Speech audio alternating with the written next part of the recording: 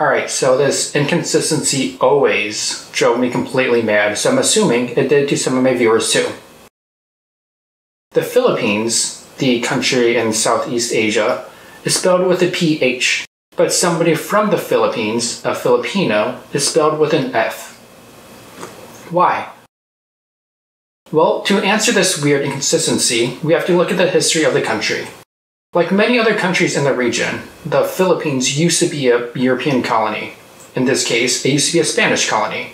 The country's name in Spanish is Las Islas Filipinas, named after the late 16th century Spanish king, King Philip, or Felipe in Spanish, the second. The name Philippines is an anglicized version of the name, and it's also the name that the Filipino government uses. If you rewind this back 10 seconds or so, you notice that the Spanish name Las Islas Filipinas, along with its namesake, King Felipe, both start with an F.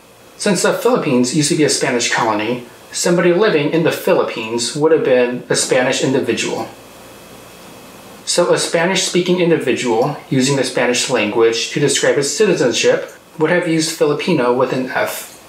That's where the spelling Filipino with an F came from. It's the Spanish spelling of a person living in the Philippines with a PH, the country which retained the English spelling of its name.